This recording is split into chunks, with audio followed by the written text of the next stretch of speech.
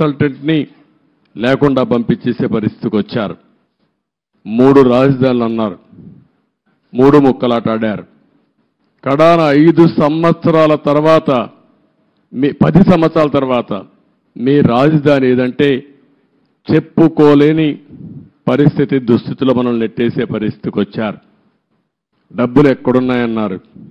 ఆ రోజు కూడా ఇక్కడ ఉండే రైతాంగం యొక్క స్ఫూర్తిని మీరు చూస్తే దగ్గర దగ్గర రైతులు ఇచ్చిన భూమే కాకుండా ఇక్కడుండే గవర్నమెంట్ భూములు అన్ని కలుపుకుంటే యాభై ఐదు వేల ఎకరాలు సేకరించింది ఆనాటి ప్రభుత్వం.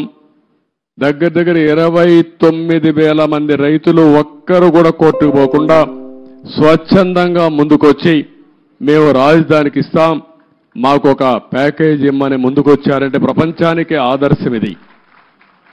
ఒక ల్యాండ్ కొనాలంటే లేకుంటే ఒక చిన్న ఇరిగేషన్ ప్రాజెక్ట్ కట్టాలన్నా లేకుంటే ఒక మంచి పనికి ఒక దేవాలయం కట్టాలన్నా భూమి ఇవ్వని ఈ రోజుల్లో ఇక్కడుండే రైతాంగం ముందుకొచ్చి స్వచ్ఛందంగా భూమి ఇస్తే దానికి ఎన్ని అపవాదులు వేయాలని అపవాదులు వేశారు ఇక్కడుండే రైతాంగాన్ని ఎన్ని ఇబ్బందులు పెట్టాలని ఇబ్బందులు పెట్టారు.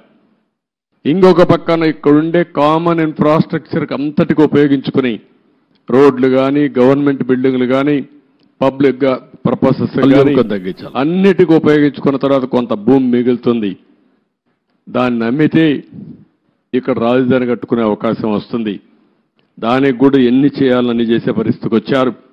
నేను మొట్టమొదటి నుంచి కూడా చెప్పాను సెల్ఫ్ ఫైనాన్సింగ్ ప్రాజెక్ట్ అని. ఇక్కడ వచ్చే ఆదాయమే ఈ అమరావతి నిర్మాణానికి సరిపోతుంది.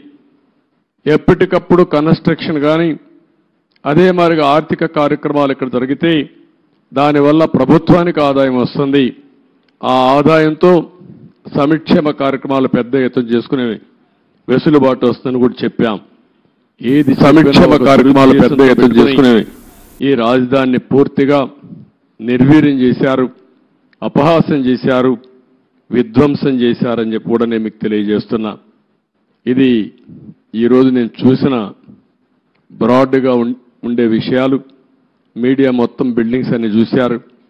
బూజు పట్టిపోయినాయి కొన్ని డోర్స్ అన్ని పోయినాయి. కొన్ని అయితే ఇరగ్గొట్టారు విధ్వంసం చేశారు.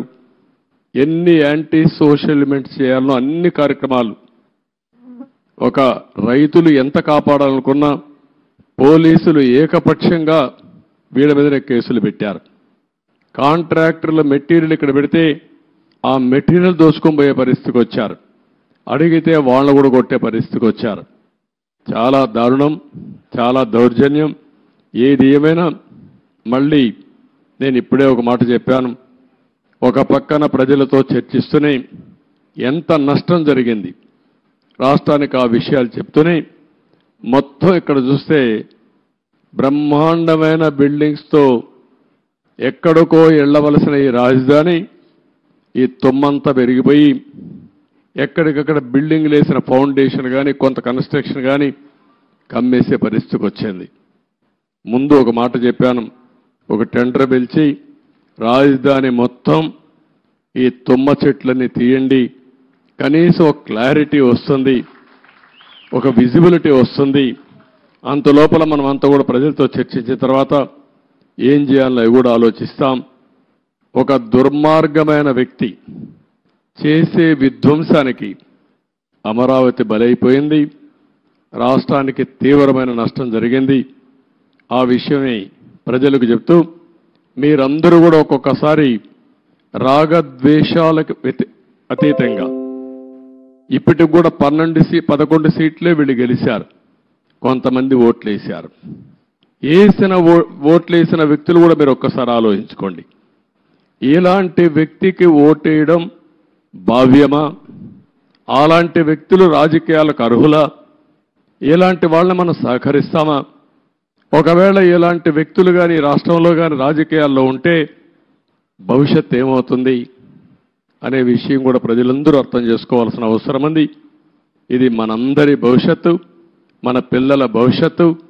కాబట్టి మనందరం కూడా ఎక్కడికక్కడ కొంతమంది అనుకుంటారు. మాకే సంబంధం అమరావతి అని? మాకే సంబంధం పోలవరం అని. అభివృద్ధి అంటే అదేంటని. అట్లా కాకుండా అభివృద్ధి జరిగితే మీ జీవితాలు బాగుపడతాయి.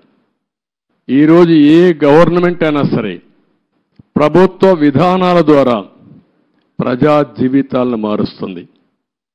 అటు కేంద్ర ప్రభుత్వంలో ఉండే నరేంద్ర మోడీ గారు కానీ వివిధ రాష్ట్రాల్లో ఉండే రాష్ట్ర ముఖ్యమంత్రులు కానీ ఇక్కడ ప్రభుత్వం కానీ మీ జీవితాల్లో వెసులుబాటు తీసుకురావడం మీ జీవితాల్ని బాగు చేయడం ఒక పక్క సంక్షేమ కార్యక్రమాలు చేస్తూనే ఇంకొక పక్క అభివృద్ధి కార్యక్రమాలు చేస్తూ తాత్కాలికంగా మీకు వెసులుబాటు ఇవ్వడమే కాకుండా దీర్ఘకాలంలో మీ జీవితాలకు వెలుగొచ్చే విధంగా చేయాల్సిన బాధ్యత ప్రభుత్వాలపైన ఉంది.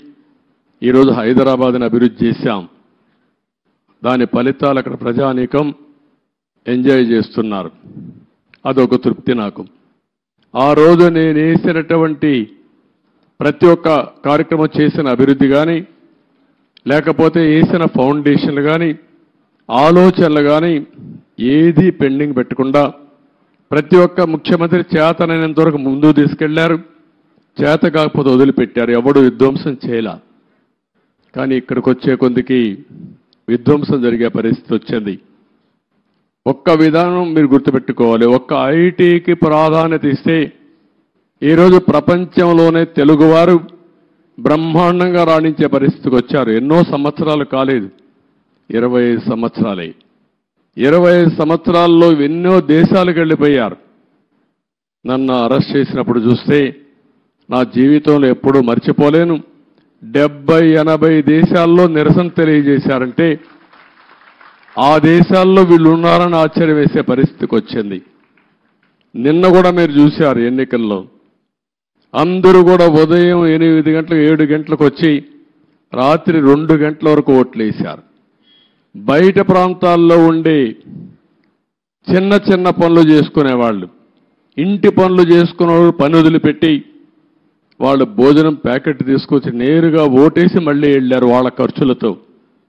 ఎక్కడో అమెరికా ఆస్ట్రేలియా లేకపోతే ప్రపంచంలో వేరే దేశాల్లో ఉంటే లక్షల రూపాయలు ఖర్చు పెట్టుకుని వచ్చి ఓటేసి వాళ్ళ బాధ్యత నిర్వహించారు. ఈ విషయం ప్రతి ఒక్కరూ గుర్తుపెట్టుకోవాల్సిన అవసరం ఉంది. ఓటేయడం మీ బాధ్యత అనుకొని ఈ ఐదేళ్ళు చేసిన విధ్వంసం చూసిన తర్వాత మళ్ళీ మేము భరించలేమనే ఉద్దేశంతో మీరు ముందుకు వచ్చారు కానీ ఈరోజు నేను ఇక్కడుండే ప్రజానీకాన్ని కోరేది ఒకటే అనునిత్యం మీరు ఆలోచించాల్సిన అవసరం ఉంది. మాకు కూడా మీరు ఒక స్ఫూర్తిని ఇవ్వాల్సిన అవసరం ఉంది. ఎక్కడికక్కడ గైడెన్స్ ఇస్తా ఉంటే మాకు కూడా ఆలోచనలు ఇస్తూ ఉంటే మా ఆలోచనలు మీ యొక్క సమస్యలు రెండు కూడా జోడించుకొని మెరుగైన ప్రజా విధానాలకు రూపకల్పన చేస్తాం. దానివల్ల మీ జీవితాల్లో మంచి జరుగుతుంది. ఏ కార్యక్రమం చేసినా ప్రజల కోసం చేస్తాం కాబట్టి ప్రజలు ఇందులో భాగస్వాములు కావాల్సిన అవసరం ఉంది. అందుకే మొన్న పోలవరం పోయినప్పుడు కూడా చాలా స్పష్టంగా చెప్పాను. ఈరోజు అమరావతికి వచ్చినప్పుడు చాలా స్పష్టంగా చెప్తున్నా. అన్ని విషయాలు ఏమాత్రం అరమరకలు లేవు. మొత్తం మేము ముందర పెడతాం. మేము చేసే ప్రతి ఒక్క పని మీ యొక్క భవిష్యత్తు కోసం చేసే పని కాబట్టి మిమ్మల్ని అందరినీ భాగస్వాములు చేయడం మా ప్రధానమైన కర్తవ్యం ప్రజాస్వామ్యంలో. ఇది చేస్తూనే ఎప్పటికప్పుడు నిర్ణయాలు కూడా తీసుకుంటాం. ఎవరైతే తప్పుడు పనులు చేసి కడాన కంకర కూడా దొంగిలించారో అలాంటి వాళ్ళని క్షమించడం కరెక్ట్ కాదు. వీళ్ళకి అలవాటు అయిపోయింది. అవి చేయడంగానే కాకుండా మళ్ళీ ఇక్కడ వాళ్ళ ఇష్ట ప్రకారం రౌడీజం చేయడం అందరినీ బెదిరించడం అడ్డం వస్తే కొట్టడం ఇష్టానుసారంగా ప్రవర్తించడం అన్నీ జరిగాయి.